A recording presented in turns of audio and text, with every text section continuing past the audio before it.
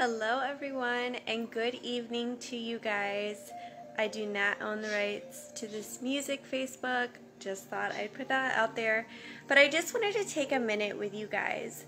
Um, I had some uh, food for thought for all of you, and I guess just a word on my heart to share with you all. So, there are many times in our day to day moments that we become anxious, we become frustrated, and even frazzled um, at the wonders of how our day goes and what is to come next. And I had this, I guess, calling on my heart to just bring joy and peace into every circumstance and bring it to the Lord and know that this is a blessing. This is a moment in time and I truly believe that in this these days Jesus is calling us to be awake to him. So there's a lot of things that are being revealed in our lives. There's um you know, I feel like there's a lot that's being addressed in our our our uh, personal lives as well as spiritual and public lives with others and just relationships um, because the Holy Spirit is working, you guys. He's wanting to convince us and let us know that there is sin out there. And without being able to see that there is sin, then we don't see the solution as Jesus. We don't see, um, like, if you really think about it, you guys, if we get everything one second.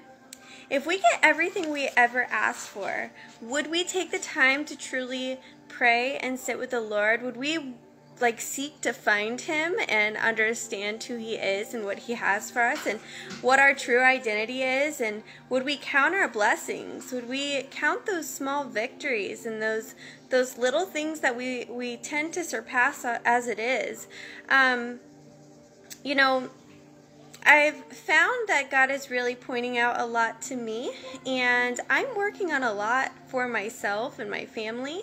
And I just want to say, like, Jesus is amazing. He is truly working through all of this. And He's asking us to just step away from the worldly ways and just step into this journey with Him and know and trust that He is there and He is working things all out for good. Um, and I have this verse that's really on my heart to share with you guys. In James 1 2 through 6, um, God calls us, which I'll put the verse above, but God calls us to have joy in trials. Joy in these times of trouble, um, confusing, and uh, we have to remember now there's two different things there is temptations and there is testing. God tests you. He tests your faith. He tests who you are as your capabilities because He knows that He has made you something for so much bigger than what we do on our day to day lives. Um, and then we have the temptations, and that comes from the enemy. That comes to tear us down. That comes with um, this spiritual battle that uh, these spirits that we aren't even aware of really take over and can hop from one person to the next. But I want to just take a step back and like let's look at everything that God may be trying to address with us.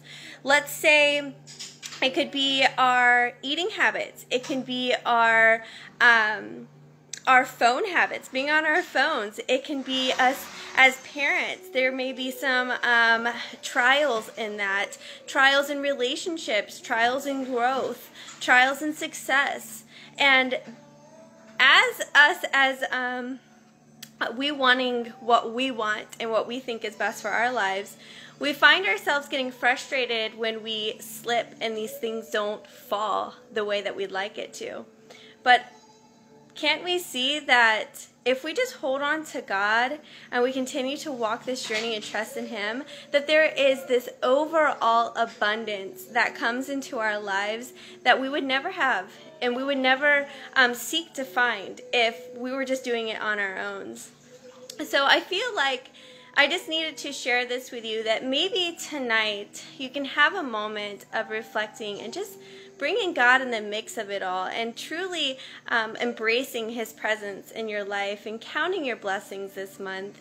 Um, I will put that verse above if you want to meditate on that tonight and just find joy and peace and bring God into your trials. You know, really talk about those things with Him and find that it is a blessing if things don't fall out right. There is a something better coming your way. There is something so much more that you can't see beyond the horizon, and God is going to put that in your life, and you have to trust and believe in that, and uh, and you know be in His presence. So take joy tonight. Take peace tonight with all the chaos in the world and you know really embrace the trials and just know that you can conquer anything especially especially when you have god there um, to build you up and walk with you through those trials so, my friends, I just wanted to pop in tonight, give you some food for thought. Hopefully, this brightened your mind and your heart and your spirit. And I hope you have a beautiful evening, and I will see you guys again soon. Thank you. God bless.